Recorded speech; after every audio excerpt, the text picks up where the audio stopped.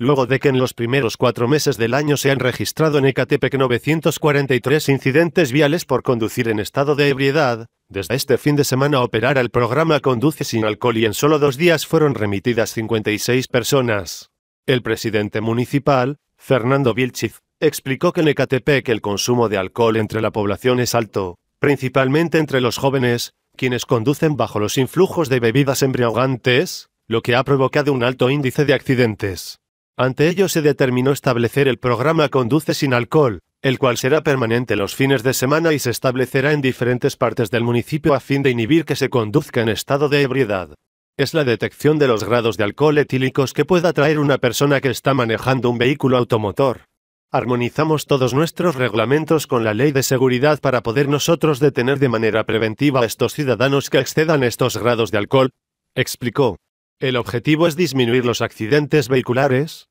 ya que el 35% es cometido por jóvenes que conducen alcoholizados. De los cinco delitos que se cometen entre 3 y 4 son por jóvenes, son nuestros hijos. Hoy por hoy vemos que remitimos a las oficinas conciliadoras es un número verdaderamente espantoso, porque ellos deberían estar en la universidad, en casa o en un centro deportivo, añadió. Así, quienes conduzcan bajo el influjo de bebidas embriagantes permanecerán en el centro de retención de tílicos dependiendo de los grados de alcohol que contengan, pues de punto 4 serán 12 horas, de punto 6 grados, 16 horas, punto 8 grados, 18 horas, y arriba del 1 serán 24 horas inconmutables. Ernesto Santillán, director jurídico de Ecatepec explicó que los conductores que sean remitidos van a tener derecho de llamar a algún familiar que se lleve su vehículo y de no encontrar a nadie la unidad será remitida al corralón. Tan el primer fin de semana de aplicación 56 automovilistas fueron remitidos al centro de retención de Tilicos, entre los que se encontraron dos elementos de la Secretaría de Seguridad Pública del Estado de México y un elemento del Centro de Control y Confianza de la Secretaría de Seguridad Pública y un policía de investigación de la CDMX.